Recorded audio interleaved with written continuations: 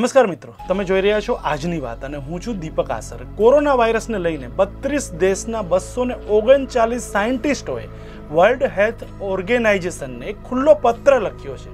શું લખ્યું છે આ પત્રમાં? તેઓએ દાવો કર્યો છે, આ વૈજ્ઞાનિકોએ એવો દાવો કર્યો છે કે ઇન્ફેક્શન, કોરોના વાયરસનું ઇન્ફેક્શન હવે હવાથી પણ ફેલાઈ રહ્યું છે. જી હા, અને તેનો પુરાવો પણ આપ્યો છે. નવાઈની વાત એ છે કે આટલા વૈજ્ઞાનિકોના આવા દાવા પછી પણ ડબલ્યુએચઓએ હે વર્લ્ડ હેલ્થ ઓર્ગેનાઇઝેશને કોઈ સ્ટેન્ડ લીધું નથી. અને કોઈ સ્પષ્ટ વાત હજુ સુધી ડબલ્યુએચઓ તરફથી આવી નથી. જી હા, ઇન્ફેક્શન કંટ્રોલ પર કામ કરતી ડબલ્યુએચઓની ટેકનિકલ ટીમના જે હેડ છે, ડૉક્ટર આલેગ્રાંજી, આલેગ્રાંજીનું કહેવું છે કે છેલ્લા એક બે મહિનાથી અમે કહી રહ્યા છીએ કે કોરોના વાયરસનું સંક્રમણ હવાથી પણ ફેલાઈ શકે છે. જી હા પણ આવું કહેવા માટે હજુ સુધી કોઈ મજબૂત પુરાવા કે રિસર્ચ અમારી પાસે આવ્યું નથી. હજુ આ દાવા પર વિવાદ ચાલી રહ્યો છે. આ ડબલ્યુએચઓનું સ્ટેન્ડ છે. આ પહેલાં ડબલ્યુએચઓએ શું કહ્યું હતું એ પણ જાણી લો. વેલ ડબલ્યુએચઓની વૈજ્ઞાનિક છે doctor Maria Kerkhove. Doctor Maria Kerkhove અગાઉ એવું કહ્યું હતું કે જોર જોરથી ખાંસી ખાવાથી, છીંકવાથી કે પછી વાત કરવાથી થૂક અથવા લાડના વાદળો બને છે, મતલબ કે એરોસોલ બને છે. અને આ એરોસોલ હવામાં એક વખત બની ગયા પછી ઘણા ટાઈમ સુધી મોજૂદ રહે છે. કોરોના સંક્રમિત એરોસોલ સાથે જો બીજી સામાન્ય વ્યક્તિનું સંક્રમણ થાય, તો તેને કોરોના થવાની શક્યતા રહેલી છે. ડબલ્યુએચઓ છાતી ઠોકીને કેમ નથી કહી રહ્યું કે હવાથી પણ સંક્રમણ ફેલાઈ શકે છે? એવું શું કારણ છે? આવો જોઈએ. અલબત્ત આ બધા દાવા પાછળ કોઈ સાયન્ટિફિક પુરાવા કે રિસર્ચ હજુ સુધી સામે આવ્યું નહોતું. એ માટે ડબલ્યુએચઓએ થઈ શકે છે જેવા શબ્દોનો સહારો લઈને વારંવાર ચેતવણીઓ આપી હતી.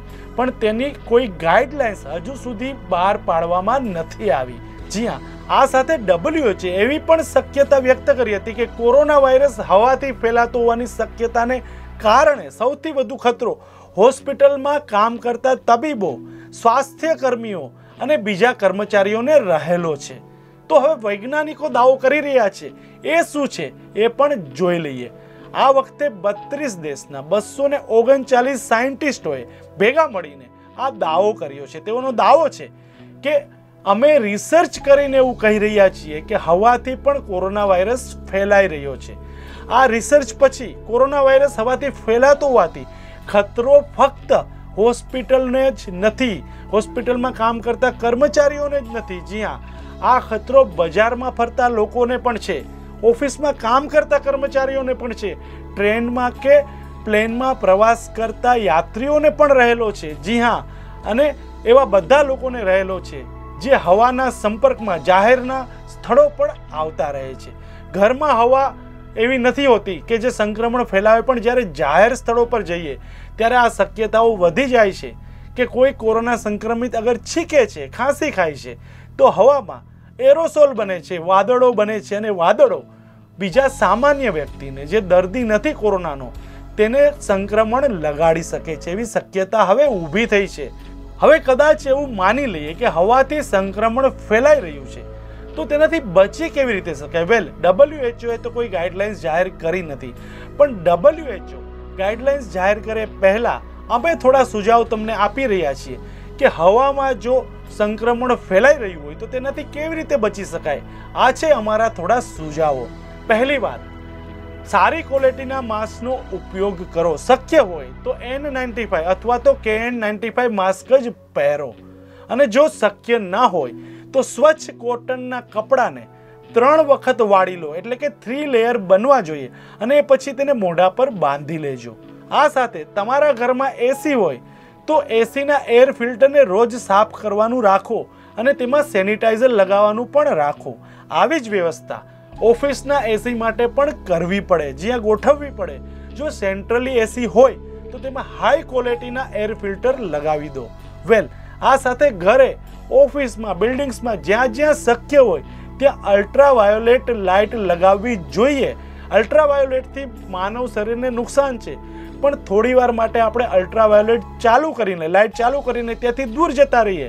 અને એવું કરવાથી હવામાં રહેલા વાયરસ મરી જાય છે, ખતમ થઈ જાય છે. એવું સાયન્ટિફિક રીતે પુરવાર થયેલું છે.